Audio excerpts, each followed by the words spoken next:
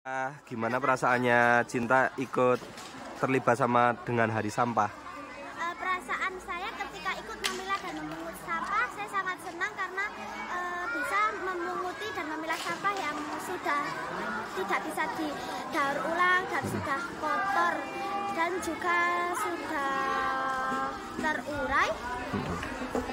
Ya perasaan saya juga sedih karena ternyata banyak sekali sampah yang berserakan karena tidak eh berserakan. Banyak orang tidak bertanggung jawab untuk membuang sampah pada tempatnya. Oke, terima kasih banyak Cinta.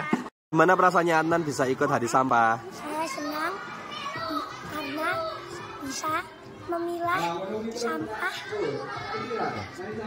Sampah bisa diurai yang eh, bisa diurai Ya, bagus. Berarti Adnan bisa mem- sekarang udah bisa ya memilah dan memilih sampah yang bisa diurai dan tidak bisa diurai ya.